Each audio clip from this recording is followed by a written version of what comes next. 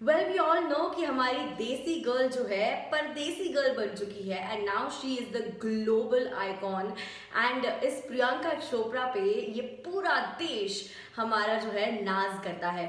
वो recently matrix रिजरक्शंस में हमें दिखाई दी थी, और अभी आने वाले कुछ ही वक्त में हमें उनका एक और नया प्रोजेक्ट देखने मिलेगा। द न्यू मम्मी यानी कि ऑब्वियसली वी नो सरोगेसी के through Nick and Priyanka Chopra जो है पेरेंट्स बने हैं।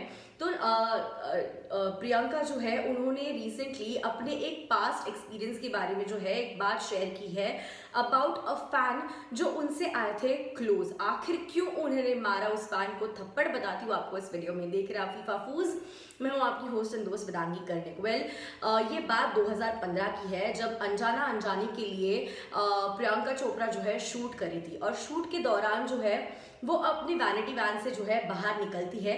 And she has been very well known पिछले इतने सालों में that she is one of the most down to earth personalities वो कभी भी नो सेल्फीज निकालने के लिए फैंस को ऑटोग्राफ देने के लिए बिल्कुल भाव नहीं खाती। She is very welcoming towards every fan लेकिन उन्हें जो है क्लोज प्रॉक्सिमिटी बिल्कुल पसंद नहीं। उनका एक बहुत बुरा एक्सपीरियंस था जब अनजाना अनजानी के शूट के दौरान वो वैनिटी वैन से बाहर आई थी। एक फ़ैन उनके करीब आए और उन्होंने ये भी कहा कि मुझे नहीं पता वो मेरे फ़ैन थे या नहीं बट वो मेरे करीब आए और उन्होंने मेरे आर्म्स के ऊपर जो है मेरे शोल्डर्स के ऊपर उन्होंने ऐसे हाथ करके पकड़ लिया और मेरे साथ सेल्फी जो है निकालना चाहते थे। प्रियंका इतनी ज़्यादा डर गई कि उन्होंने उनका हाथ झटका और उनका कॉलर पकड़ के दूसरे हाथ से थप्पड़ झाड़ दिया। प्रियंका कहती है कि मुझे मेरे फैंस से बहुत प्यार है और जो जो मेरे फैंस हैं, मैं उन सभी की रिस्पेक्ट करती हूँ। लेकिन मुझे ना क्लोज प्रॉक्सिमिटी में कोई आए या मुझे कोई छुए फिजिकली ये मुझे पसंद नहीं है।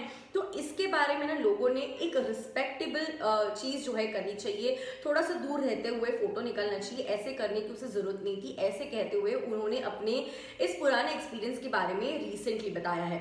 क्या है इसके ऊपर? आपको कहना क्या? आपको भी लगता है कि प्रियंका चोपड़ा का इस तरह से उस फ़ैन को मारना सही था? या फिर आपको लग रहा है कि शायद यू नो उस फ़ैन को एक्चुअली समझ में आना चाहिए। एक्चुअली सभी फैंस को समझ में आना चाहिए। जस्ट बिकॉज़ कोई एक एक्टर है एक्ट्रेस है, इसका मतलब ये नहीं कि आप उन्हें जब चाहे, जैसे चाहे, हाथ लगाओ, पकड़ो यू नो एक एक रिस्पेक्टेबल स्पेस डेफिनेटली मेंटेन करनी चाहिए। तो प्रियंका चोपड़ा के इस स्टेटमेंट से क्या आप करते agree what you have to say on it नीचे कॉमेंट करके ज़रूर बताइए। I see you guys very very soon तब तक लिए बाय टेक केयर